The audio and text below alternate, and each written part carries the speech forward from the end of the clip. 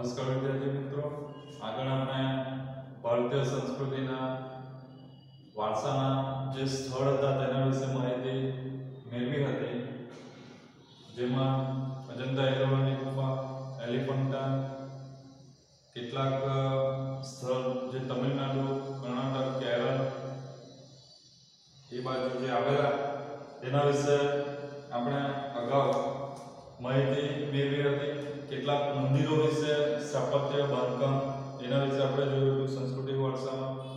હવે આપણે આગળ કુટુંબીના ભારતીય સંસ્કૃતિના સ્થળની અંદર લેવાનું છે.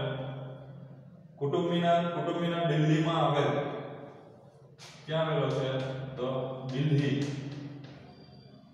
દિલ્હીમાં આવેલ સલ્તનત કાળની સ્થાપત્યનો ઉત્તમ નમૂનો છે. એનું નિર્માણ બારમી સદીમાં ગુલામ વંશના સ્થાપક કુતુબ કુતુબુદ્દીન એબકે શરૂ કરેલું.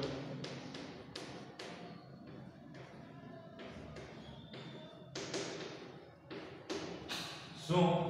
તો કુટુંબ. કુતુબુદ્દીન એબકે શરૂ કર્યું. જે તેના અવસાન બાદ તેના જમાય ઇલ્તુમિશે પૂર્ણ કરાવ્યું હતું. આનું જે બાંધકામ છે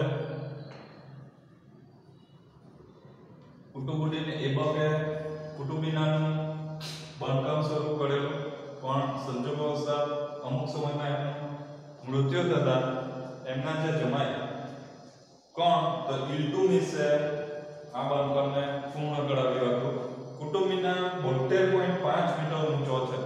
એની જે હાઈટ છે, ઊંચાઈ એ કેટલી બતાવે છે? તો બોતેર પોઈન્ટ પાંચ મીટર. અને એનો ભૂતળનો ઘેરાવ ભૂતળનો ઘેરાવ એટલે જેમ એ જે ઊંચાઈવાળું ઇમારત છે, એ નીચે જતા એનો જે ભાગ છે, એનો ઘેરાવ કહે છે, એ કેટલો છે? તો તેર પોઈન્ટ પંચોતેર મીટર. જે ઊંચાઈ પર જતા, બે પોઈન્ટ પંચોતેર મીટર. થાય છે. જનરલી આપણે જોઈએ તો આ જે ભાગ સરાઉન્ડિંગ આ જે ભાગ થશે આ અને કહેવાશે ઘેરાવ. અને ઉપર જતા એ કેવો થતો જાય છે? તો સાંકળો. આપણે ચોપડીની અંદર એને જોઈ શકીએ. જે બતાવેલો છે એ પ્રમાણે.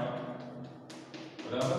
જેમ જેમ ઉપર જતા જોઈએ એનો ઘેરો કેવો થતો જાય છે? સાંકળો થતો જાય છે. બરાબર છે?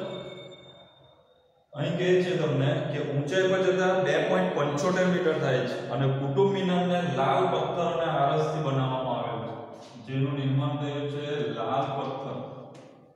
શેમાંથી?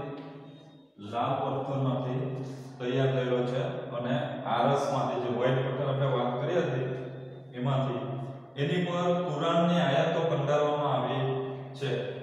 આમાં જે નકશીકામ ડિઝાઇન જે તૈયાર કરેલી છે, એ કુરાનમાં છે. અને કુતુબ મિનાર ભારતમાં પથ્થરો માટે બનેલ સૌથી ઊંચો સ્તંભ ગણાય છે. એના પછી નેક્સ્ટ બીજી સંસ્કૃતિમાં બાંધકામ તરીકે આપણે હમ્પી લઈશું. હમ્પી કર્ણાટક રાજ્યના બિલ્લારી જિલ્લાના હોસ્પેટ તાલુકામાં આવેલી છે. એક શું છે? નગર છે. અને ક્યાં આવેલું છે? તો બિલ્લારી જિલ્લાના હોસ્પેટ તાલુકા આવેલું છે. હમ્પી વિજયનગર સામ્રાજ્યની રાજધાનીનું સ્થળ હતું અને વિજયનગરના શાસકો કલાપ્રેમી હતા. એમના રાજ્યકાળ દરમિયાન વિજયનગર રાજ્યમાં સ્થાપત્યની વિશિષ્ટ શૈલીનો વિકાસ થયો. તે સમયના જે શાસક કરતા હતા, રાજાઓ, એ કલાપ્રેમી હતા અને જે જે ઇમારતો બાંધકામમાં જે થતું, તો તેમાં કંઈક કોટરણી બરાબર? એવી શૈલીથી કરવામાં આવતી જે ભવ્યથી ભવ્ય, બરાબર? એ આખું બાંધકામ નવનિર્માણ થતું. કૃષ્ણદેવરાય પ્રથમના સમયમાં આ સ્થાપત્ય શૈલી સર્વોચ્ચ શિખરે પહોંચી અને વિજયનગર સ્થાપત્ય શૈલીની મુખ્ય વિશેષતા વિશાળ પથ્થરોને કોતરીને કરવામાં આવેલા ભવ્ય ઊંચા અને કલાત્મક સ્તંભ છે. સ્તંભ અને સંભાવલીઓ પરના દેવો, મનુષ્ય, પશુ, યોદ્ધા, નર્તકી વગેરેના ઘણા સુંદર અને કલાત્મક શિલ્પો કંડારેલા છે. ઘણીવાર આપણે અમુક મંદિરોની અંદર જઈએ, આપણે ત્યાં પણ નવસારી કે બીજા અન્ય ધાર્મિક સ્થળોએ આપણે જઈએ. ખાસ કરીને રાજકોટ, જુનાગઢ, સૌરાષ્ટ્ર બાજુ આપણે જઈએ. તો ત્યાંની કલાકૃતિ મંદિરોમાં છે. તો અમુક જગ્યાએ એ શિલ્પો કોઈક પશુ, દેવી દેવતા કે પક્ષી એની આકૃતિ આખી પથ્થરની અંદર તૈયાર કરીને એ આખું મંદિરને ભવ્યથી ભવ્ય બનાવવામાં આવે. હમણાં એક આપણે નવસારીમાં ગ્રીટ પર શ્રી સ્વામિનારાયણ ટેમ્પલ જે મંદિર છે, એની કલાકૃતિ તમે જો તો આવા મંદિરો આપણને યાદ આવે. એવી જ, એવી ન કહી શકે તો પણ એ ટાઈપની આખી કલાકૃતિ આપણને જોવા મળે છે. મંદિરના પ્રવેશમાં અંદર જ્યારે ગર્ભગૃહમાં આપણે જઈએ, તો જ્યારે ઉપરની બાજુ જોઈએ છે, ઘુમટવાળો ભાગ તેમાં અંદરની બાજુએ જોતા આવા દેવો બરાબર એની નર્તક એ શિલ્પ કોતરીને આખો તૈયાર કરેલો છે તમે જોઈ શકો વિજયનગર સામ્રાજ્યમાં હમ્પી નગરમાં કૃષ્ણદેવરાય સમયમાં વિઠ્ઠલ મંદિર અને હજારા રામ મંદિરનું નિર્માણ થયું અને આ ઉપરાંત અહીં વિરૂપાક્ષ મંદિર શ્રી કૃષ્ણ અને અચ્યુતરાયના મંદિરો પણ આવેલા છે શેમાં તો હમ્પી વિજયનગર નગર છે એ હોસ્પિટલ તાલુકામાં આવેલું છે. ત્યાં આવા ભવ્ય મંદિરો પણ આપણને જોવા મળે છે. એક ભારતની સંસ્કૃતિ છે. એના પછી છે હુમાયુનો મકબરો. હુમાયુનો મકબરો દિલ્હીમાં આવેલો. મકબરો ક્યાં આવેલો છે? તો દિલ્હી. દિલ્હી ખાતે આ મકબરો જોવા મળે છે. એ મુઘલ કાલે સમયગાળો, બરાબર? આવે છે એમાં મુઘલ સમય સ્થાપત્યનો શ્રેષ્ઠ નમૂનો છે હુમાયુનો મકબરો હુમાયુના મૃત્યુ બાદ મકબરાનું નિર્માણ તેના પત્ની હમીદા બેગમે કરાવ્યું એમનું મૃત્યુ થતા એમને શરૂઆત કરેલી બનાવવાની પણ મૃત્યુ થતા એમની બેગમ એટલે કે એમની પત્ની કોણ હમીદા બેગમ હમીદા એમનું મૃત્યુ થતા આ મકબરાનું બાંધકામ પૂર્ણ કરાયું ઈરાની શૈલીમાં નિર્માણ પામેલા આ મકબરામાં લાલ બર્તનની સાથે સફેદ બર્તનનો ઉપયોગ પણ કુશળતાપૂર્વક કરવામાં આવ્યો હતો.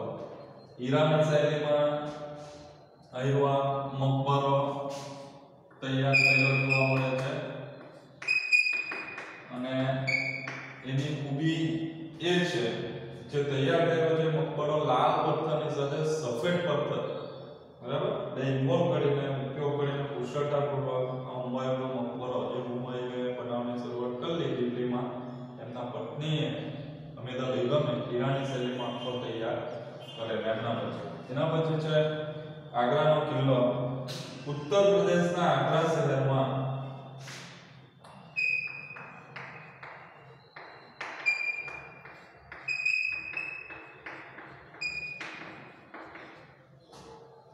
આવેલા કિલ્લાનું નિર્માણ લાલ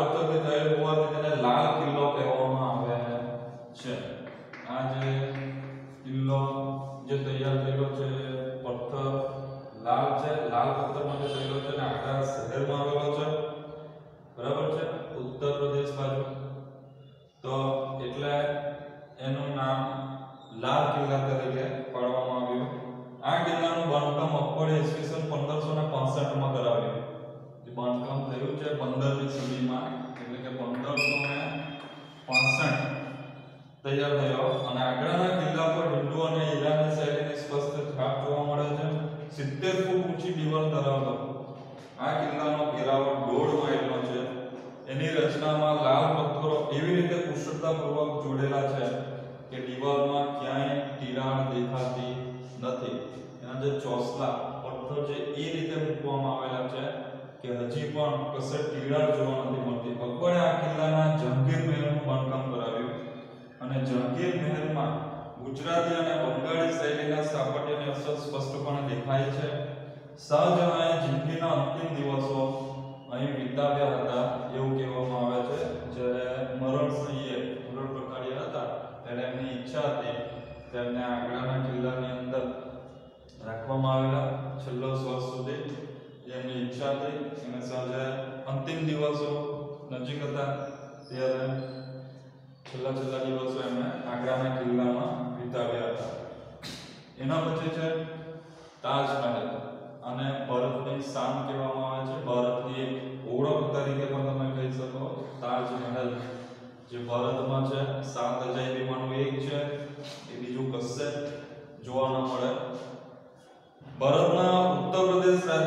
આગ્રામાં ઉત્તર પ્રદેશમાં આગ્રામાં યમુના નદી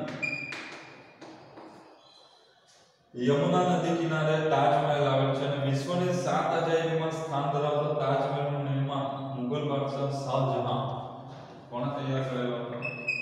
તો શાહજહાં. મુગલ સમય શાસનકાળમાં જ આ પણ નવનિર્માણ ઉત્તર પ્રદેશમાં આગ્રા યમુના નદી પાસે શાહજહાંએ તાજમહેલ તૈયાર કરાવ્યો જે સાત અજાયબીમાંનું એક છે.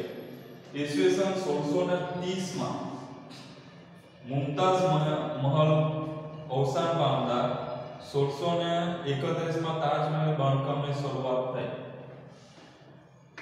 હવે તાજમહેલ બનાવવાનું કારણ હતું શાહજહાં પોતે પોતાના પત્ની મુમતાઝને અધિક પ્રેમ કરતા હતા. એમનું અચાનક અવસાન થતા એમના બેગમની યાદમાં સોળસો ને એકત્રીસમાં તાજમહેલનું બાંધકામ શરૂ થયેલું અને એક્ઝેક્ટ બાવીસ વર્ષ સુધી બાંધકામ ચાલતા સોળસો ને ત્રેપનમાં પૂર્ણ બરાબર? તાજમહેલ બન્યો તો તમે કહી શકો સોળસો ત્રેપનમાં તાજમહેલ નવનિર્માણ પામ્યો. હતો. મુમતાઝની યાદમાં જે શાહજહાંના પત્ની હતા, એમની યાદમાં એમણે તાજમહેલ બનાવેલો અને બનાવતા એમને બાવીસ વર્ષ થયેલા. જ્યારે એમના પત્ની સોળસો ત્રીસમાં મુમતાઝ બરાબર? મૃત્યુ પામ્યો. અને એક વર્ષ પછી સોળસો એકત્રીસમાં એનું બાંધકામ શરૂઆત કરેલી અને બાવીસ વર્ષ તાજમહેલને બનાવતા થયા હતા અને સોળસો ને ત્રેપનમાં એ પૂર્ણ થયો હતો. તાજમહેલનું નિર્માણ થયું હતું જે એમની બેગમની યાદમાં શાહજહાંએ તાજમહેલના નિર્માણ કાર્યમાં ભારતના કુશળ શિલ્પીઓ ઉપરાંત શું કહે છે કે ઈરાની અરબી તુર્કી અને યુરોપિયન શિલ્પીઓને રોક્યા હતા. સંસારના અદ્વિતીય મકબરાઓમાં તાજમહેલને ગણના થાય અને એના દ્વારા મુમતાજ મહલનું નામ જગતભરમાં અસર અમર થઈ જાય તેવી સહજ અને અંતર ઈચ્છા હતી કે એમના પત્નીનું નામ આખા વિશ્વમાં વિશ્વ વિખ્યાત બને. એમની યાદમાં એમણે તાજમહેલ તૈયાર કર્યો એવી એમની ઈચ્છા હતી. તાજમહેલની સંપૂર્ણ ઇમારત ઉત્તરથી દક્ષિણ તરફ લંબચોરસ આકારે વિસ્તરેલી છે અને તાજમહેલની મધ્યમાં તાજમહેલ છે એની મધ્યમાં મુમતાઝની કબર છે. અને તેની ચારે બાજુ ખૂબ જ સુંદર અષ્ટકોણીય જાળી બનાવેલી છે અને તેની મહેરાબ પર એક ઉક્તિ પણ લખવામાં આવેલી છે. જેની ઉપર લખેલું છે કે સ્વર્ગના બગીચામાં પવિત્ર વીરોનું સ્વાગત છે. તાજમહેલ ભારતના સ્થાપત્ય કલાના વારસાને ગૌરવાન્વિત કરે છે અને દેશ વિદેશના પ્રવાસ માટે તાજમહેલ નિત્ય આકર્ષણનું કેન્દ્ર બની રહ્યા છે. આપણે જોઈએ તો ભારતની સંસ્કૃતિ એટલી બધી વિકસેલી છે અને ભવ્યથી ભવ્ય છે કે દેશ વિદેશના લોકો અહીં પ્રવાસ પર્યટન અર્થે આવે છે અને નિહાળે છે. અને જુએ છે, સમજે છે ભારતની સંસ્કૃતિને અને એ વારસાગત, સાંસ્કૃતિક વારસાની અંદર તાજમહેલ વિશ્વવિખ્યાત સાત અજયબીમાંનો એક છે, જે શાહજહાંએ તૈયાર કરેલો.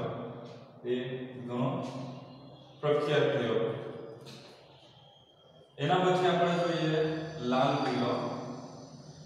દિલ્હી સ્ટેટ લાલ કિલ્લાનું નિર્માણ શાહજહાંએ કર્યું આ પણ દિલ્હી ખાતે જ છે. લાલ કિલ્લો. તાજમહેલ પછી બીજું બાંધકામ શાહજહાંએ લાલ કિલ્લાનું કરેલું. સોળસો આડત્રીસમાં કરાવેલું કઈ સાલમાં સોળસો ને આડત્રીસમાં. તમારે ઓફ યાદ રાખવાનું છે મુગલ શાસન દરમિયાનનો સમયગાળો પંદરથી સોળમી સદી. સત્તર અઢાર, જ્યાં સુધી તમે યાદ રાખી શકો, આ બધું બાંધકામનો. સોળસો માં કરાયેલા લાલ પથ્થર માટે તૈયાર થયેલા લાલ કિલ્લામાં શાહજહાં પોતાના નામની શાહજહાંના બાગ વસાવ્યો અને આ કિલ્લાની અંદર દીવાને આ દીવાને ખાસ રંગમહેલ જેવી મનોહર ઇમારતો બંધાવી હતી. દીવાને ખાસ સમજ્યા ઇમારતોની દિવ્ય દિવ્ય રીતે એને સુશોભિત કરેલી છે, તૈયાર કરેલી છે, અલંકૃત કરેલી છે. અલગ અલગ પ્રકારના સજાવટમાં જોઈએ તો સોનું, ચાંદી અને કિંમતી પથ્થરોનો અદ્ભુત સમન્વય થાય છે. એટલે એને ખાસ કરીને અલંકૃત કરેલી એમ કહેવામાં આવે છે. એના અંદર જે ડિઝાઇન છે, સોનું, ચાંદી અને કિંમતી પથ્થર દ્વારા થયેલું જોવા મળે છે. લાલ કિલ્લાની મુમતાઝનો શીશ મહેલ લાહોરી દરવાજા, મીના બજાર અને મુઘલ ગાર્ડન વગેરે આકર્ષણોનો સમાવેશ થાય છે. આ જ કિલ્લામાં શાહજહાંએ કલાત્મક મયુરાસનનું સર્જન કરાવ્યું હતું, જેને નાદેર શાહ પોતાની સાથે ઈરાન લઈ ગયો હતો. અને લાલ કિલ્લો મુઘલ સ્થાપત્ય કલાની ઉત્કૃષ્ટ ઇમારતોમાં સ્થાન ધરાવે છે. દરેક વર્ષે રાષ્ટ્ર દિવાળા પ્રસંગે આ કિલ્લા પરથી ધ્વજવંદન કરવામાં આવે છે. તમે પેજ નંબર 46 પર 6.6 માં લાલ કિલ્લાની તસવીર ચિત્ર જોઈ શકો છો. જેમાં આપણા શ્રી વડાપ્રધાન શ્રી મોદી સાહેબ લાલ કિલ્લા પરથી રાષ્ટ્ર તહેવારો હોય ત્યારે રાષ્ટ્ર ધ્વજ ફરકાવે છે કારણ કે આપણી ભારતીય સંસ્કૃતિનો એક ઐતિહાસિક વારસો છે. બરાબર? એના પછી આપણે જોઈએ ફતેહપુર સિક્રી ઉત્તર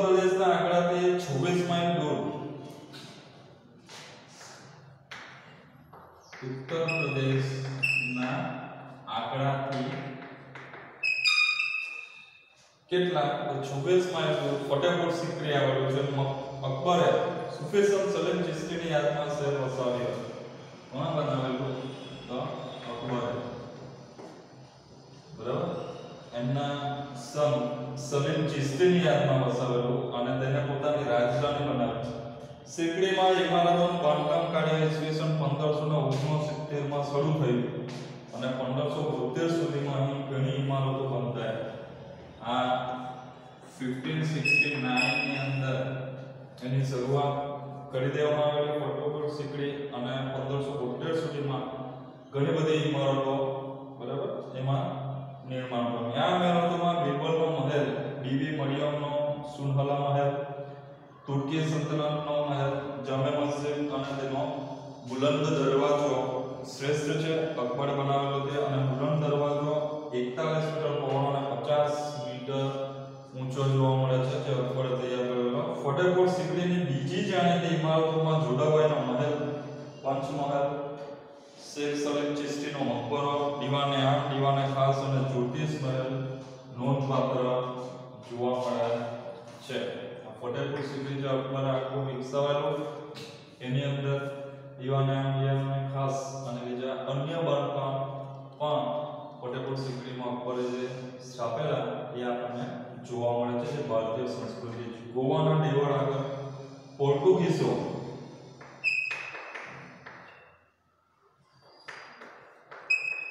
પોર્ટુગીઝો સાથે ખ્રિસ્તી ધર્મના ધર્મગુણો પણ ભારતમાં આવ્યા અને ગોવા પોર્ટુગીઝોની રાજધાની હતી. અને બેસાલિકા ઓફ બોમ જીસસ, એ બેસાલિકા ઓફ ગુડ જીસસ દેવળ જૂના ગોવાના દેવળ છે. બોર્ડમાં પૂછાય છે. તમારે નોટ કરવાનું છે.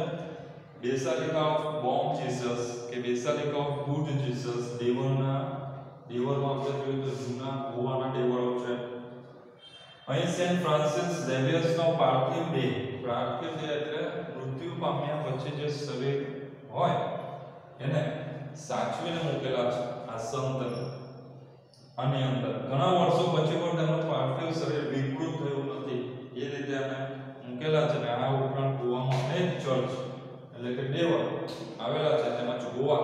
તેના રમણીય દરિયા કિનારા માટે પણ જાણીતું છે. મોસ્ટ ઓફ આપણે જોઈએ તો સહેલાણીઓ જે પર્યટન માટે આવે છે, તો બીચ પર ખાસ કરીને ગોવામાં જાય તો ત્યાંનો દરિયા કિનારો જોવાલાયક છે બીચ ગોવાનો. બરોબર કે પોર્ટુગીઝની રાજધાની, ખાસ ખ્રિસ્તી ધર્મના ધર્મગુરુ ભારતમાં આવે તે સમયે ત્યાં ગોવામાં ઘણા દેવળો એટલે કે ચર્ચો ત્યાં બનાવવામાં આવેલા હતા. અને છેલ્લું આપણે જોઈશું ચાપાનેર ગુજરાતના પંચમહાલ જિલ્લામાં હાલોલ તાલુકામાં ગુજરાતમાં પંચમહાલ જિલ્લો.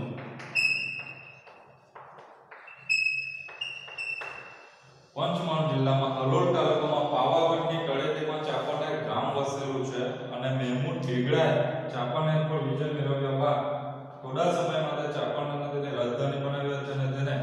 અમદાવાદ નામ આપ્યું હતું. ચાંપાનેરમાં મોટી મસ્જિદ, જમી મસ્જિદ, ઐતિહાસિક કિલ્લાઓ પણ આવેલા છે અને ચાંપાનેરની સ્થાપત્ય કલા અને ઐતિહાસિક મહત્વ ધ્યાને લઈ યુનેસ્કોએ બે હજાર ચારમાં અને વૈશ્વિક વારસા તરીકે, બરાબર, યાદીમાં સમાવેલું છે, જે ચાંપાનેર પંચમહાલ જિલ્લામાં, બરાબર, આવેલું છે. એટલે પાવાગઢની તળેટીમાં ચાંપાને ગામ આખું વસાવેલું છે. જે બે હજાર ચારમાં વૈશ્વિક વારસામાં સ્થાન પામેલું છે એવું છે ચાંપાનેર. અને જમી મસ્જિદ ચાંપાનેર સિક્સ પોઈન્ટ નવમાં સુડતાલીસમાં પણ આપણે તમને બતાવેલી છે. એ તમારે જોવાની છે. ટૂંકમાં ભારતીય સંસ્કૃતિના સ્થળોમાં બીજા આજે જે આપણે જોયા વિડીયોમાં કુતુબ મિનાર હમ્પી હુમાયુનો મકબરો ચાપાણ કોના દ્વારા અને કેવી રીતે કઈ સાલમાં તૈયાર થયેલા એ આપણે શીખી ગયા છે. તો વિદ્યાર્થી મિત્રો, તમારે આ ફરીથી